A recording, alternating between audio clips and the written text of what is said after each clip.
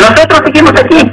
Mañana ustedes van a encontrarse que la gente que se, que se aparta de la carretera se va a poner a un costado y, y van a, ustedes van a poder apreciarlo y van a poder tomar nota de aquello porque mañana eh, en la ruta del punto cero hacia acá la gente que estaba en la carretera va a estar a un costado de la carretera. mañana un desbloqueo total. Por supuesto, estamos hablando de un desbloqueo, estamos hablando de un gesto eh, eh, importante para con nuestra gente, eh, pero también para con eh, el trabajo que hemos tenido que, que destraba definitivamente lo que estaba trabajando. El plan de ¿cuándo empieza efectivamente el desbloqueo? ¿Será en este momento o mañana? No, no, en este momento no, en este momento no. Nosotros empieza esto mañana, tenemos que escuchar el llamado también esta noche del gobierno y seguramente en un rato más lo vamos a hacer.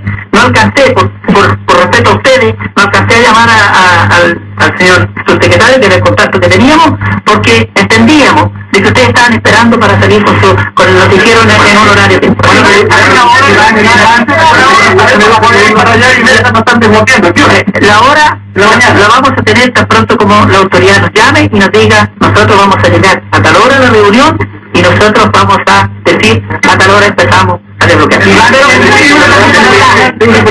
Está, está socializado con las bases, ese es el trabajo que hicimos, por eso es que le dijimos a ustedes, cuando ustedes estaban afuera, no podíamos declarar, ¿por qué? Porque teníamos que socializarlo con la gente.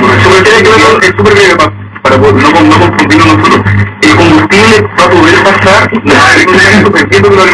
Aquí, aquí no hay llegar y pasar los camiones. Ustedes saben que hay una, una, una, una cantidad de camiones detenidos que son muchos y ese desbloqueo va a ser gradual. Porque si lo hacemos de un viaje, nos va a causar un achoclonamiento y que no va a ser posible, eh, por ordenar, vamos a desordenar. El desbloqueo es gradual, es responsable, es con cariño, es con la voluntad que tiene, que tiene este pueblo. El ingreso va a ser prioritario, por ejemplo, primero la alimentación, segundo la agua, Pero claro que sí, claro que sí. ¿Qué es lo que necesita primero la gente? Es comida. Alimentarse, alimentarse. ¿Quién dijo combustible? ¿Quién come combustible? Sí, sí, pero bueno, yo creo que la gente quiere hacer pan primero, ¿no? Así que nada.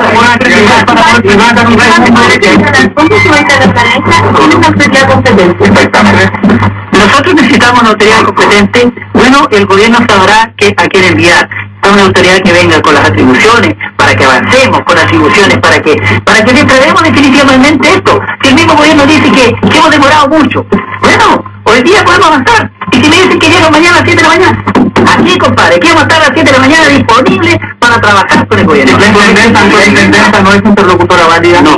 No, no, no. ¿Quién sería el gobierno? Tenido un ayer, ¿cierto? Al cual ustedes iban a un- en el caso de las 19 horas una. Ya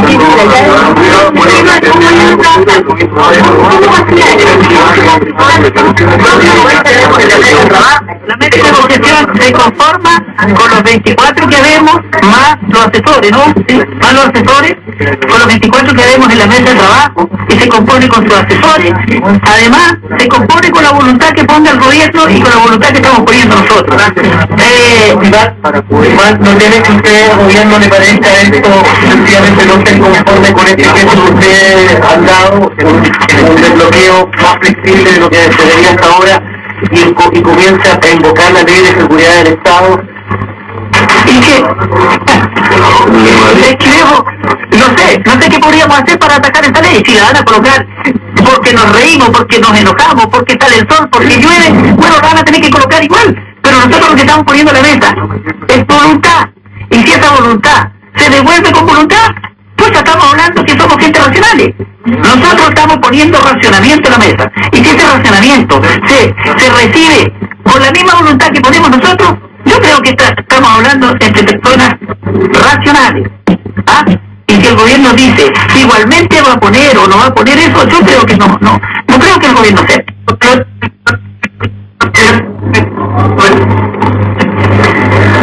Ahí está entonces la comunicación nos perdido la señal un tanto, la vamos a restablecer en algunos segundos, pero queda claro entonces que el gesto que estaba pidiendo la autoridad se viene a concretar. ¿Qué es lo que falta ahora? Se espera entonces que el gobierno haga el análisis y entregue quizá una respuesta esta misma noche ante este anuncio que ha hecho desde Aysén el movimiento social. Ha indicado entonces que acepta terminar con el bloqueo. El bloqueo no es una cosa mágica, han señalado, sino que es gradual y prioritario. Es decir, primero el abastecimiento a la ciudadanía. Está muy en, eh, allí en entredicho lo que podría ser el abastecimiento, por ejemplo, a las grandes empresas o a las empresas de combustible. Y ha señalado que claramente lo primero es alimentar a la población. Por lo tanto, esperan que ese gesto que han dado en el día de hoy, que lo han calificado como una gesto de buena voluntad y de racionamiento sea devuelto de la misma manera por la autoridad.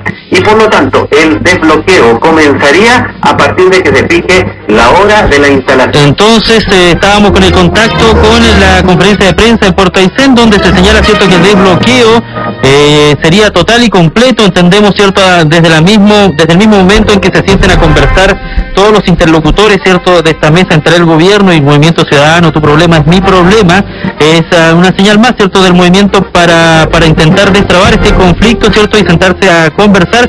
No, no se habló mayormente de los puntos si había algún compromiso del gobierno, ¿cierto? Ayer se había señalado en algún momento que no había ningún compromiso por parte del tema de los combustibles y otros más, que era uno de los temas más importantes, estos 11 puntos, aunque son 11 puntos obviamente, pero eh, habrá que ver, ¿cierto? Entonces, cuál es la reacción que tiene el gobierno a esta situación de desbloqueo total y completo que ha señalado el dirigente Iván Fuentes a esto de las 10 de la noche y que hemos transmitido en directo desde Puerto Aysén.